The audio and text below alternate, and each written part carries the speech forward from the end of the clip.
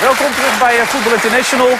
27 mei de voorlaatste uitzending. Johan Derksen, Huub Stevens en René van der Gijp. En Johan, we hebben zojuist een pijnlijke fout gemaakt. Ja. Ja. Nee, het zijn twee, eh, de broers. eh, Nee, er de- zijn zelfs drie broers. Oh.